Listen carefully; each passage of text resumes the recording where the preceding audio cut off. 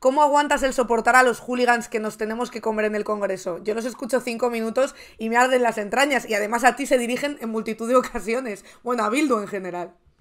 La verdad que no lo llevo mal, ¿eh? no, no diría yo que eso hace que pueda pedir un plus de peligrosidad en mi trabajo por, por tener que aguantar eso.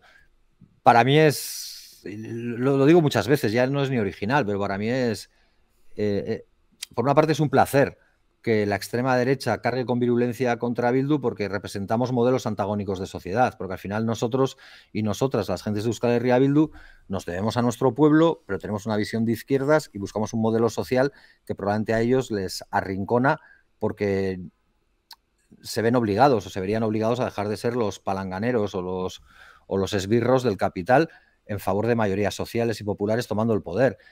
Y, eso no me, no me, genera ningún problema, o sea, me gusta. Sí. A partir de ahí, bueno, yo creo que, que cada uno sabe dónde se mete y, yo no tengo especial dificultad para, aguantar eso. Siempre digo que es mucho más jodido, si sirve la expresión, trabajar en la mina o tener un patrón que te explota continuamente para pagarte una miseria. O sea, al final yo hago el trabajo que quiero y siento además el respaldo y el apoyo popular, por lo menos en mi país, en Euskal Herria, y es verdad que también en muchas partes del Estado español, porque defendemos lo que defendemos y, para eso nos han votado.